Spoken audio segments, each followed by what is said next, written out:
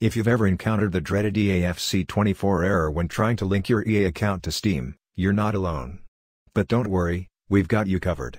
In this video, we'll explore the causes of this error and provide step-by-step -step solutions to help you get back to gaming seamlessly. Let's dive right in. 1. Check your internet connection. First things first, let's ensure your internet connection is rock solid. A shaky connection can be the root of the problem. 2. Verify EA app and Steam account. If you're encountering this error while trying to launch an EA game through Steam, it's crucial to double-check your accounts. Here's what you should do. A common issue is having a different EA account logged into the application. Make sure it's the one you use to link Steam. 3. Change your Steam profile name. This solution might sound unusual, but it has worked for some gamers. It's all about changing your Steam profile name.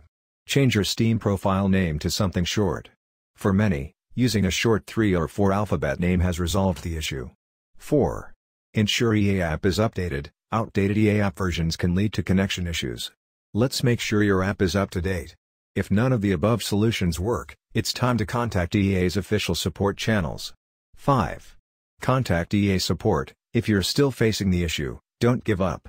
Reach out to EA support for specialized help. EA support might have specific troubleshooting steps or updates to fix the problem. There you have it, gamers. We've tackled the EAFC24 error head-on and provided you with a range of solutions. Gaming should be fun, not frustrating. If you found this video helpful, please give it a thumbs up, and if you have any questions, leave them in the comments below.